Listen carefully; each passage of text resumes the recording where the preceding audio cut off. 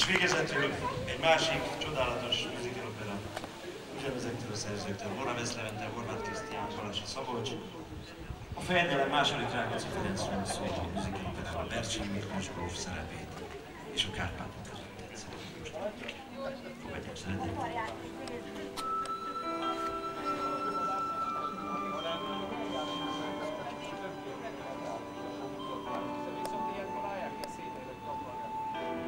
Gomoly, szép tájat rejt, a Kárpátok fölött, s ott vényfenyő, mészkendnek ejt, a Kárpátok között. A nap pihen, így mit se sejt, hogy hány szív ver, és nem felejt valahol a Kárpátok között.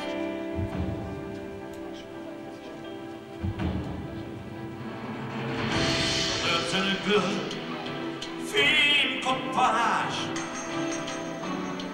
a Kárpátok között. A jégcsapon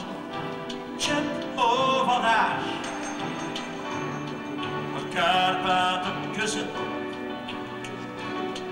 Egy szó, egy sóhaj, egy dobbanás, egy szebb jövőre villanás.